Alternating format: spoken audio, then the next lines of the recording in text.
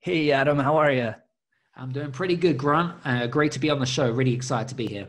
All right. Well, I'm excited too. And I know uh, a couple weeks ago when you and I got on the on the phone and, and chatted a little bit, I was really excited uh, to learn more about you, but just to share just your journey, uh, your high performance uh, mindset, and the things you're doing for people. And I mean, you have a really, really, really interesting background, and I'm just really excited to share with my listeners what your mindset's all about.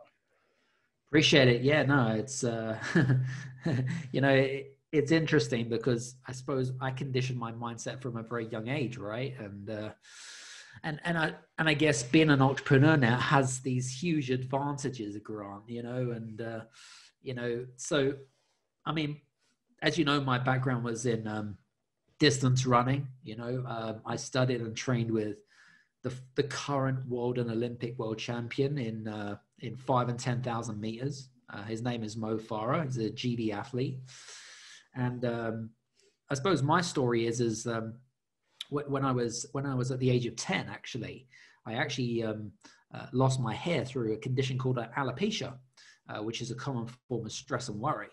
Um, won't go into the gist of it, but as you can see, I don't have hair, still don't have hair, uh, but currently you got used to it.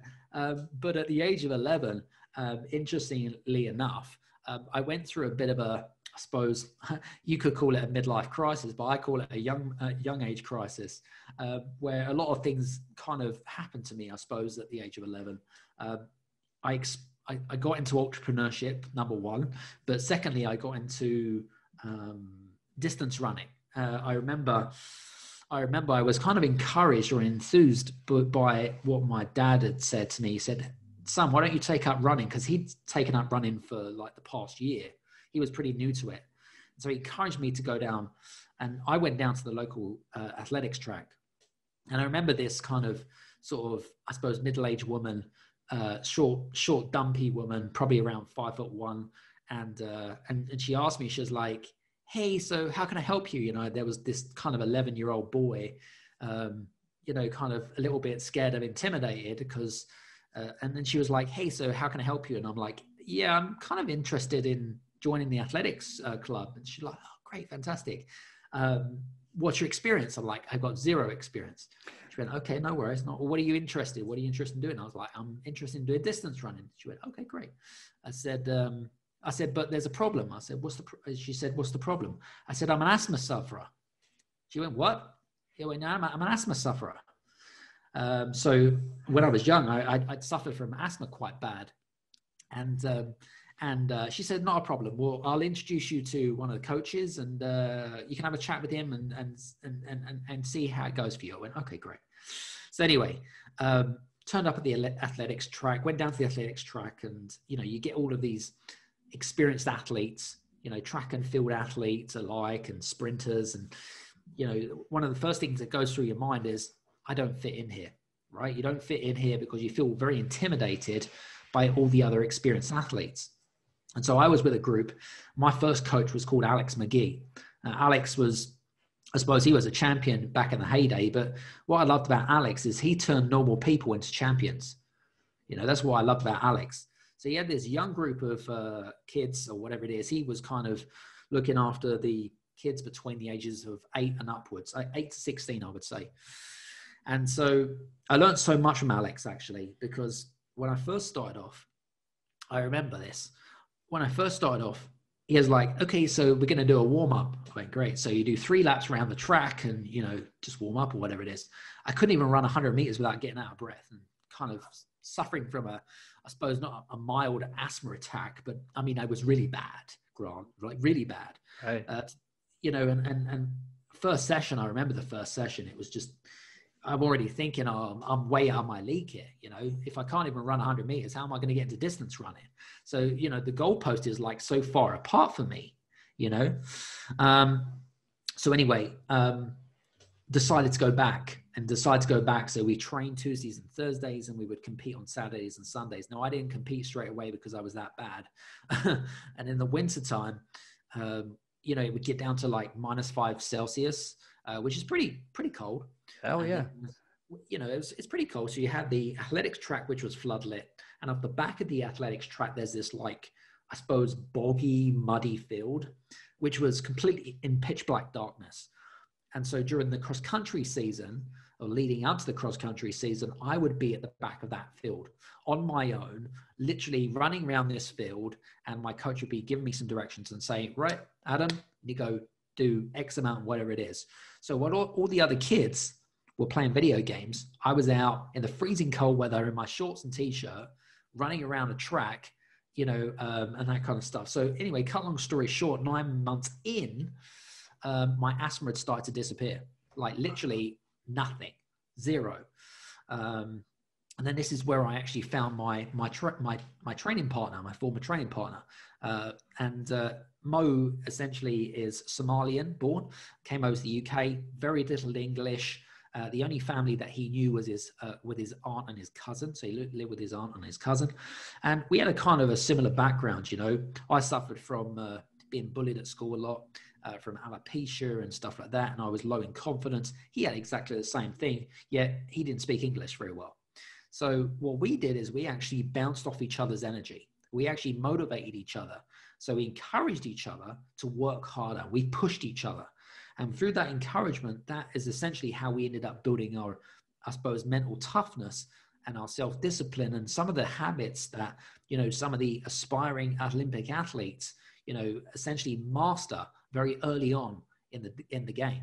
Um, same with American football, same with baseball and basketball, exactly the same things. You're drilled into your mindset about some of the things that you need to set yourself up for success. And this is some of the things that I actually learned from a very young age, which I now actually bring into the entrepreneurial world today. You know, when you talk about that, thank you for giving that, that backstory because there's so many things that you had to deal with from an adversity standpoint, confidence standpoint, mental toughness standpoint, which I I I always touch on with my show. So when you think about like all of your experiences and what you're what you're doing now as an entrepreneur, as a game changer, like when you think of the two words mental toughness, mm. what does that what does mental toughness mean to you? Mm. It, it's a great question. Mental toughness to me is, I suppose, I suppose it's kind of toughening yourself up when you go through challenges, whether it be physical, mental, spiritual, emotional, you know, because those are the four remits, right? So mental toughness is about kind of making improvements to your life in those particular areas. You know, so mental toughness can mean many different things to many different people. And so mental toughness is essentially going through there's always going to be highs and lows in life like there's highs and lows in running your in being an entrepreneur, right? That's that's that's life. Okay. But it's when you're down in the dumps and you're down, you know, I could have given up my running career, okay, straight away. You know, I could have just thrown the towel in and that's it. But if it wasn't through my self discipline and it wasn't through my mental toughness and my resilience to not give up, then that's why that's why I believe that that's given me the platform for success. And you talked about those highs and lows, right? So when you think about your whole career, mm. now I'm going to ask you for a specific time, like whether if it was in athletics or in the workplace or in business, what was your biggest mental win? What was your biggest mental fail? Well, I don't ever see things as failures. I always mm. see, I always kind of see, for me, I always see them as learning points. So right. um, I never see things as failures, but I suppose for me, my biggest, um, I suppose, I wouldn't call it a pivot because I'm, I'm not a big fan of that name, uh, but I'd probably say adaptation is probably a really good word to use. There you right? go. Um, so I think for me, my big win really is, um, uh, especially this year in particular, actually, is um, I've really kind of one thing that I've really learned, especially from interviewing some of the well-renowned business disruptors and influencers like Dr. John Demartini and Bob Burg and some of the real big heavyweights of the entrepreneurial world. Some things that I learned off that Dr. John Demartini's, um, who's one of the world's, um, I suppose, he's the, the one probably one, the, one of the world's renowned psychotherapists in the world. And he taught me one thing that we learned when I interviewed him um, during our summit this year. And he said to me, he said, Adam, he said, number one is that you've got to align your values to what you really want in life? What is your purpose in life? You know, so this is something that I really kind of, and it kind of really hit me here this year, right?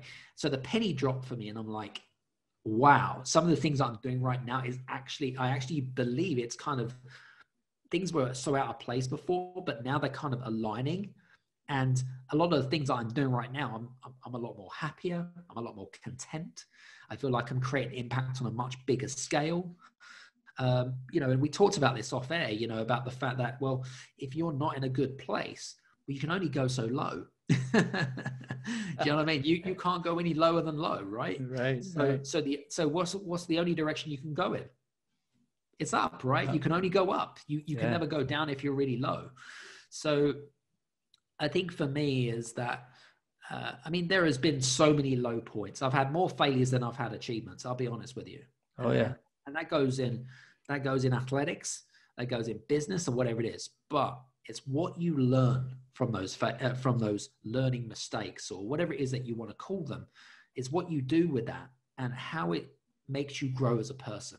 So one of the big mistakes that i think a lot of people make whether it be in athletics whether it be in uh, sports or in uh, working in the workplace is doing the same mistake over and over again and not learning from those mistakes. Yeah. that's just stupidity right that's insanity as, as einstein was doing the same thing over and over again but expecting a different result Right. so so for me i think that uh there are lots of mistakes i, I remember I'll, I'll quickly share one one thing actually which was really interesting i remember a few years a couple of years ago actually this was only a couple of years ago believe it or not I actually ended up starting up a company.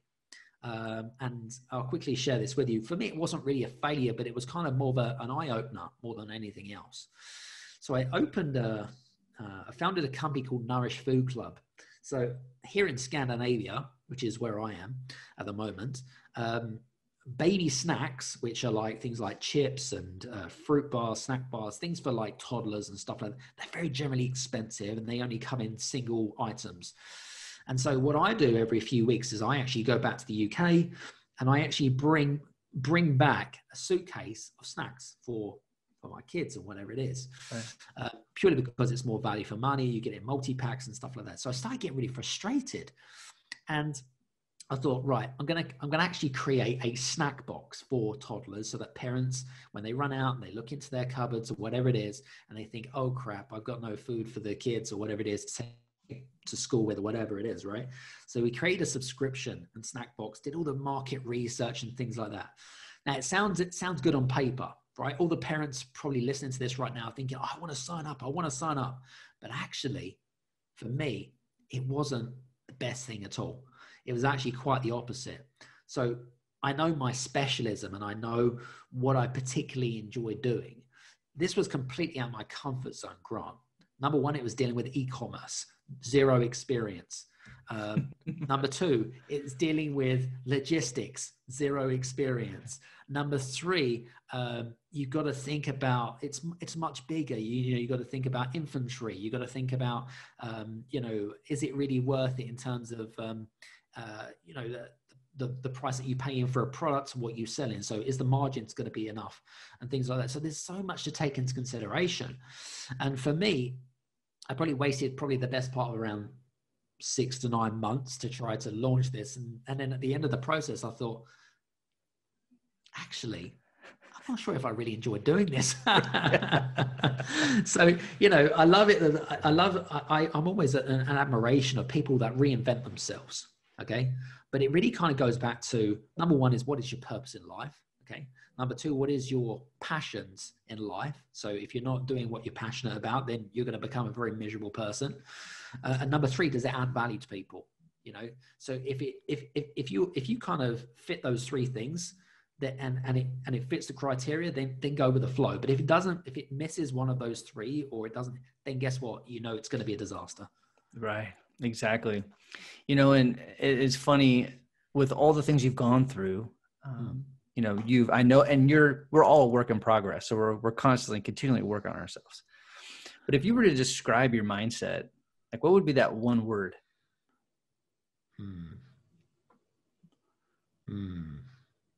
My one word, that's a tough question, you know. Uh, I think for me, it would probably be, well, it's a choice between two.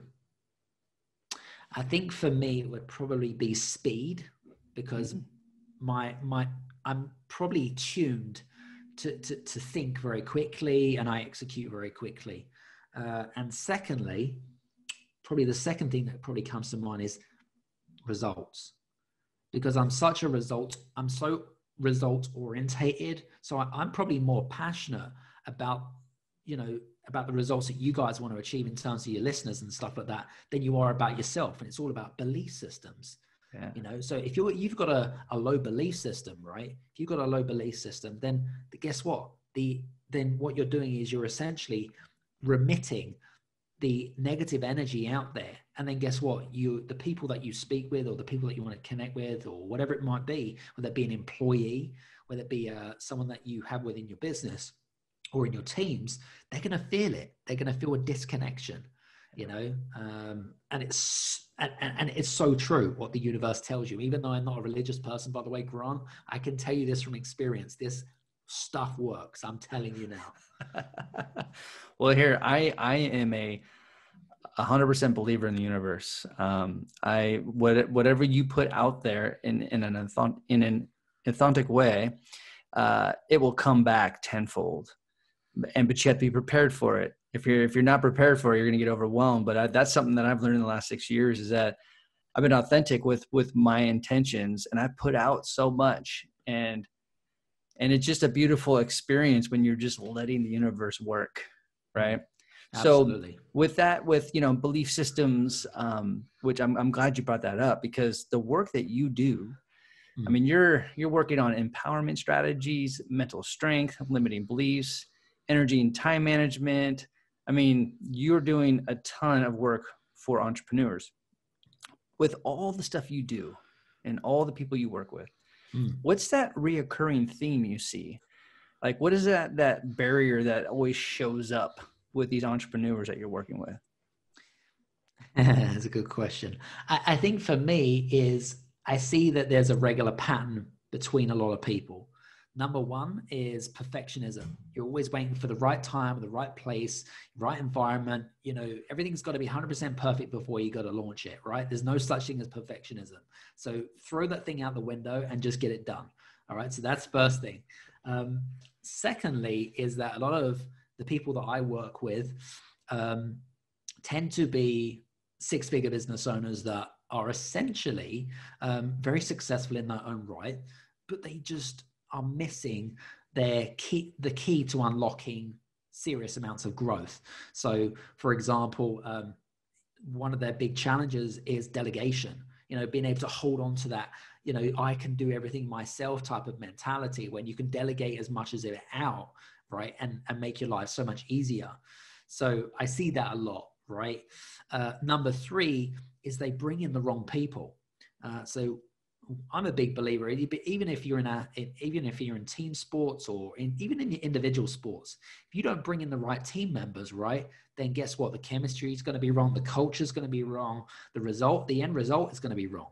You know. So one thing that I see um, right now is a lot of entrepreneurs when they do decide to delegate, they, they delegate the wrong things and they they build a team up. They build the wrong team up so I'll give you an example. One of our uh, one of our uh, members of the Game Changers Next Level Club that we've that we've created, um, she is a, a, very successful lawyer in a in her own right. So she is an entrepreneurial. Um, in, you know, she she runs in the family law industry. Uh, so she she's a six figure business owner, but she had five administration staff. Five Okay, so things doing such as email answering, social media, mixture of different administrative tasks, right? Um, most of them were doing at least 25 to 30 hours a week. So she was paying these five administrative people. So that's 150 hours, call it 150 hours a week of administration work. And then she was basically, she was the only fee earning person. So I said to her, I was like, hey, so this is what you got to do. I want you to get rid of at least three of your administration people, okay? As in, goodbye, streamline, make it more efficient, put some systems and processes in, and then bring in some fee earning people or some salespeople that's going to be able to help you grow the business. Okay. So, one of the things I teach a lot of my clients is making sure that they bring in the right people. So, with, with in her case, because it was really just her and her administration staff, what it needs to be is her plus three fee earning people or salespeople, so your team members, plus one administration managing everybody else. That's it. That's your basics. She's like, oh, I get it now. So she's just actually in the last two weeks, she just hired her first sales person and now that person is now earning money for the firm right and now she's already double in doubling she's already increased her sales by 30 times in a couple of weeks wow so yeah.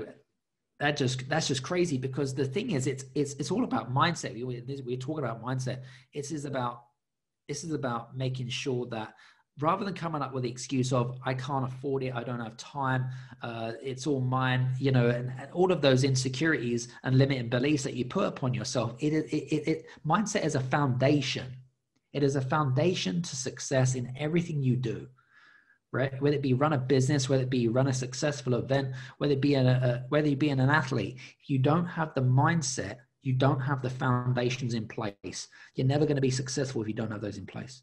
Yeah, I, I I echo that a lot because I feel when you talk about the foundation is a mindset, you know, there's so many ways of looking or defining what a mindset is. And for me, I've I've the simplest perspective or definition is intention.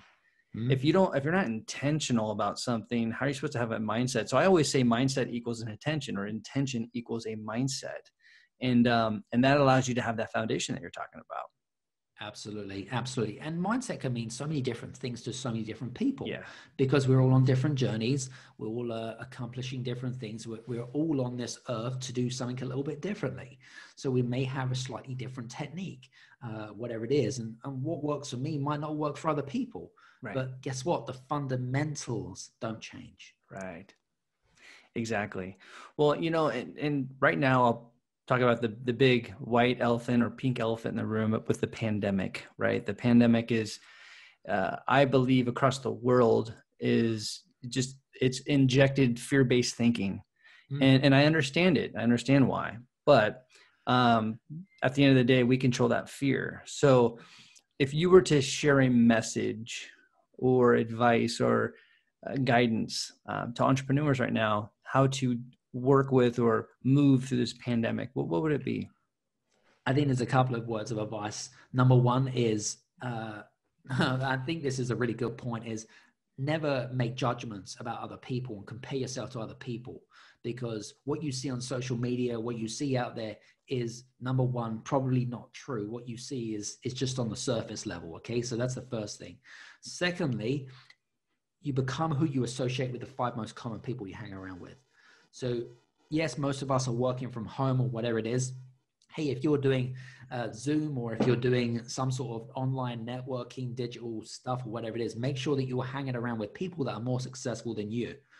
Because if you don't, if you want to, if guess what, and and and, and this is, I, it sounds really really um, basic, but if you want to be a broke person, go hang around with broke people. If you want right. to be a negative person, go hang around with negative people. It's not rocket science, guys, right? It really right. isn't. Right. Um, so I think that to me is, you know, that's absolutely key associations. But number three, which I think is really important, is to plug out from distractions. You know, so one of the things that Olympic athletes in particular, you know, athletes in general are particularly great at laser focus you know is to block out all of the noise because there's just too much noise out there especially with the media and watching cnn and you know nbc or whatever it is they're, they're talking about the same thing right? You've got to plug out from that stuff. And I think one of the reasons why I suppose I haven't really been affected by the whole kind of pandemics type of thing is purely because I'm so focused on helping others. Right? Going back to your purpose and your and your and your values because for me i genuinely love to help people that that that is the, one of the reasons why i live on this earth is because I genuinely like to help people, authentically like to help people. Okay. So then you, again, you have to go back to what is your purpose? Why are you here? You know? So that has nothing to do with what's happening on in the, in the world. Yes, it's sad to see people pass away and, and so forth. But in reality, does it help you move forwards? No. You either move forwards or you move back. Exactly. And the big problem that I see is that a lot of people move back. For me, I choose to move forward, but that's because I make a choice. We all make choices. We're the pe- only people on this planet to be able to make choices in life. So you have to make a decision on what choices you decide to make. No exactly. Exactly. And what I love about what you're doing is that you're in service and, um, you know, to be in service, you need to be present, but still, um, when you're in service, man, you're moving forward. And it's, and it's I, to me, out of all the roles in the world, I don't care what it is, being in service, it, to me is the best. This is the best role to ever be in. So without expectation, my friend. That's what it is. Serve without expectation. And, and I'm a big believer of this. The more that you serve humanity, the more that you serve people, and it doesn't matter if you're a, if you're an athlete listening to this or if you're an entrepreneur listening to this, the fundamentals don't change. The more that you serve and you give value to people, the more that you will be rewarded. Now, some people might say, "Well, Adam, I get what you're saying, and I tr- truly get what you're saying, but when will it come?" That's a very good question. And I used to ask that question to myself all the time. Exactly. And I and you know what I say to people? Patience. You have to learn to be patient. And then some people might say, well, patience don't pay for my bills and pay for my listen, again, it's going back to the fundamentals. Right. Right. It's going back to the mindset, it's going back to the values, right? Because I can guarantee you the more that you give to people, the more impact and value, and they will rem- remember you for the right reasons. Exactly. And, and again, remember what are human beings designed for, right? They're not motivated by money, they're motivated for achieving a vision or a mission. Yeah, they're, they're, they're motivated to be significant. They're motivated to create impact. That's that's why that's what I'm motivated about. Some some people are a little bit different, which is absolutely fine. Some people are motivated by money, and that's fine too. But generally, if you look at like what Gallup has done in terms of the employee engagement um, um, surveys with a lot of corporate companies and employees and that kind of stuff, you'll see that I would say that only a small minority of people, which I think is less than 17%, is actually motivated by money. Wow. Wow. But you know, you know, it's really funny. Um, when you think about uh, patience, especially because people want the, you know, they want results. They, they, you know, they want it. Well, being patient with the process. And for me, process drives results. If we all wanted to focus on results, we would all would, you know, if we can control the results, we would. But it's about the process and it's about enjoying that process and honoring it and being patient with it. And if you are, again, going back to the whole universe, if you are working your process and you're authentic with it and you're trusting the universe trust me like that patience will i mean i've seen it i i i played a very small narrow game with my life and with my career for two decades. And things completely changed in the last six years because of i've had i've honored the process i've honored the universe and i've played a big game and i've just been more intentional you know? So it's i you're preaching the gospel there. I think there's one thing that it's I, I had an epiphany when you were saying uh, about that but here is something that i really want you guys to listen in really really quickly here. The longer you wait the more patient you are the bigger the win ah that's a great one that's a beautiful right? one i mean it's not rocket science it's the same it's it's a bit like um um you know if you're if you're trying to break the world record whatever it might be in whatever sport you want to do or if you want to you know, do your first touchdown or the first try or whatever it might be, okay, there's going to be a time when you're going to be starting out your career. You might be an, you know, an experienced athlete or whatever it is. You may have hit we've all got personal goals, right? So it's about being patient, okay, and then waiting for the right time because the longer you wait, the bigger the win. Simple. I love it. I love it. One more question before we sign off here and this is all about reflection which uh, I, I, believe this is where we find growth and when you think about your whole career as an athlete uh, as a game changer what do you think you've learned the most about yourself mm. I think for me is is that we're always learning you know there's I, I, can never say that I have got an MBA in entrepreneurship or an MBA in, in athletic, you know, resilience or mental toughness. There's no such thing as that. Is that you've got to be open for learning and continue to learn and be open to learn. If you look at all the successful mentors, coaches, um, you know, around the world, whether it be in athletics, whether it be uh, in your workplaces right now, okay, you know, we all have people that we can look up to. Um, but it's to learn from those people as well. Continue the the journey of learning because the more that you learn in life, the more that you become a better person. And the thing is, is that you know the, the world is a fast moving pace, right? It moves extremely quickly, and so you've got to keep yourself up with the times. But never, ever, ever discourage learning because the more that you learn, the more that you grow. And that and, and growth comes in many different forms, whether it be mindset, whether it be financial growth, whatever it might be, but it comes in different forms. Totally. The journey of learning. I love it. I love it. So how Adam, how can my listeners, how can they follow you on social media, learn more about your podcast and about all the great things you're doing right now? Sure. Um, well, if you'd like to connect with me, uh, you're very welcome to uh, come over and listen to the Game Changers Experience podcast. Uh, we have a mixture of uh, uh, Olympic athletes and sports personalities as business influencers and disruptors. So you're very welcome to listen to that on all your big kind of podcasty um, uh, channels. Um, so that's the first thing. Secondly, if you want to check my website you're very welcome to. It's adamstrong.net.